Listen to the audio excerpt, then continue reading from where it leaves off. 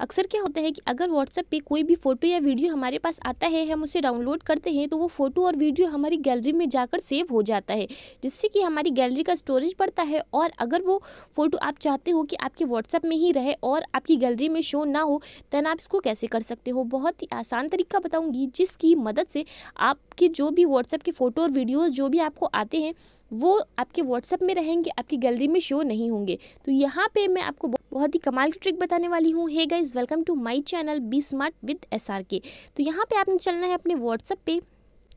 जैसे ही हम व्हाट्सएप पे चलते हैं, इस तरह से पेज जो है वो हमारे सामने शो हो जाता है और यहाँ पे अगर हमें कोई भी फ़ोटो या वीडियो आती है तो वो हमारी गैलरी में भी सेव हो जाती है। तो यहाँ पे अगर आप चाह रहे हो कि आपके व्हाट्सएप के जितने भी फ़ोटो और वीडियोज़ हैं, जो कि आपको आ रहे हैं, वो आपकी गैलरी में शो ना हो देन उसके लिए यहाँ पर आपको थ्री डॉट पर क्लिक करना है। उसके बाद यहाँ पर आपको सेटिंग के ऑप्शन पर क्लिक करना है। जब आप सेटिंग के ऑप्शन पर क्लिक करोगे देन इस तरह से पेज जो है वो शो हो जाएगा। यहाँ पर आपको चैट पर क्लिक करना है।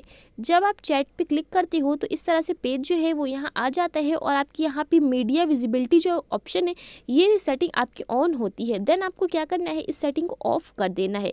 जैसे ही आप इस सेटिंग को ऑफ़ कर देते हो, उसके बाद क्या होता है कि आपके व्हाट्सएप पे जो भी फ़ोटोज़ वीडियोस आएँगे, वो आपके व्हाट्सएप में ही रहेंगे, आपकी गैलरी में नहीं जाएँगे। तो इस तरह आप व्हाट्सएप की फ़ोटोज़ और वीडियो को गैलरी में जाने से रोक सकते हो। आपकी जो भी व्हाट्सएप की फ़ोटो और वीडियो है, सिर्फ़ और सिर्फ़ व्हाट्सएप में ही रहेंगे, आपकी गैलरी में शो नहीं होंगे। तो ये था कमल का ट्रिक आपको कैसा लगा? कमेंट करके ज़रूर बताइएगा। वीडियो को लाइक करिए शेयर करिए चैनल ज़रूर सब्सक्राइब करिए। Thanks for watching